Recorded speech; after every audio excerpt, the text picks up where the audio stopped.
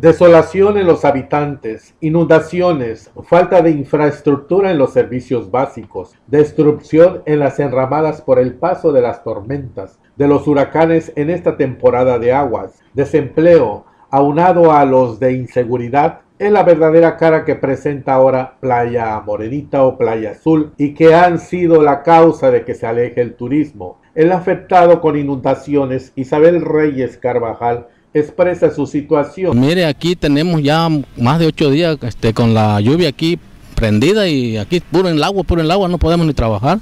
No hemos sacado ni para las tortillas ahorita casi, porque el coco, el coco que vendemos lo compramos. Pues aquí, aquí conmigo nadie ha venido, hasta ahorita que están presentes ustedes aquí. No, pues el jefe de tenencia ni se ha parado por aquí.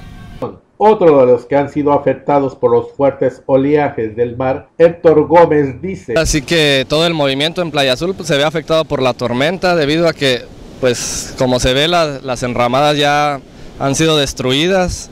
Este, el oleaje llega prácticamente hasta las cocinas y pues hay, hay afectación de, de todo el mobiliario y principalmente pues este, no se puede trabajar ahorita, incluso la pesca también pues se ve afectada ahorita, no, no podemos entrar a, pescar debido al, alto oleaje. Ahora también el turismo pues cuando viene se queja mucho de la infraestructura, las, eh, los drenajes están muy dañados, hay inundación, hay maltrato en, el pavimento.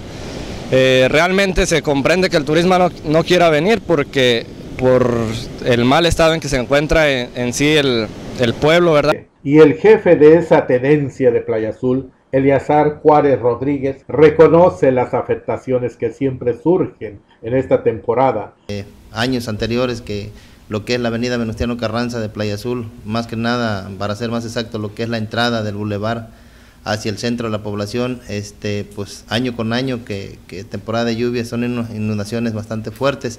Eh, hemos tratado esto con las diferentes administraciones dentro del, tiempo que yo he estado aquí en la jefatura de tenencia y anteriormente que, estaba con el anterior jefe de tenencia, pues ya hemos hecho mucho hincapié en que esa avenida, no sé, es parte baja de, de la población, no hay un buen, como lo hemos hecho también del conocimiento en su momento, no hay un buen desagüe en cuestión de alcantarillado y todo eso.